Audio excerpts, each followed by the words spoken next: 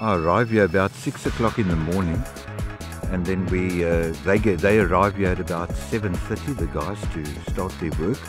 By that time, everything's unloaded and off the trailers, so we can get going.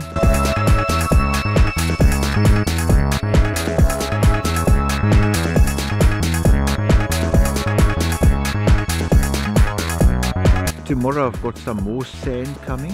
Actually found a guy in town today who can bring you river sand.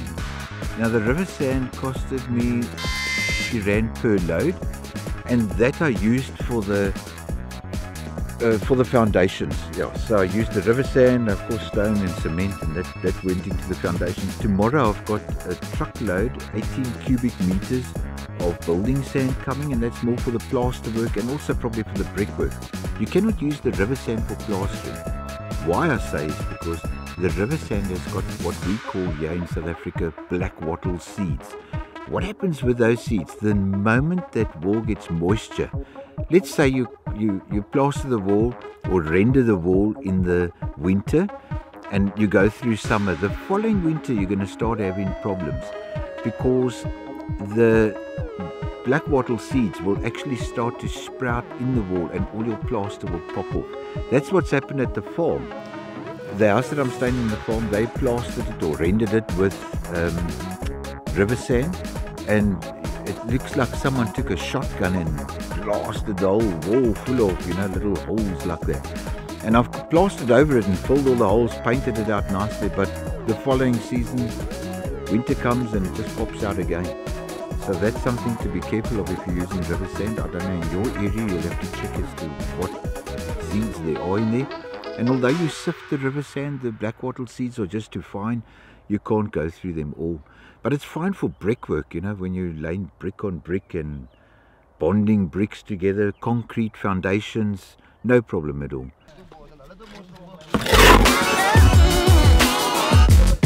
Okay, now I drew up a budget for the whole job.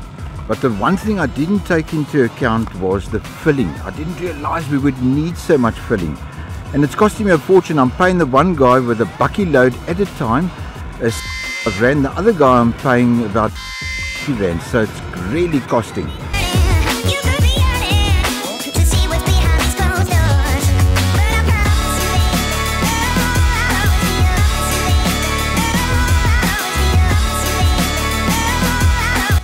Tomorrow's quite a busy day. What happens is that the guys finish off on a Friday half day, so that will be quite nice. I can get other things done on the farm that need to get done. Anyway, guys, for this vlog, I'm going to say take it easy.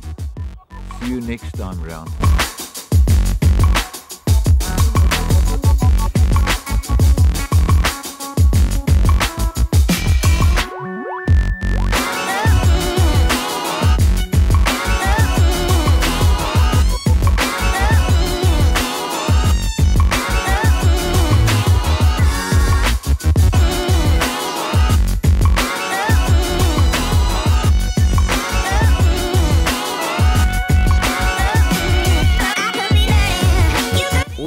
Quite happy with the way things are going at the moment. Um, yeah. What do you think?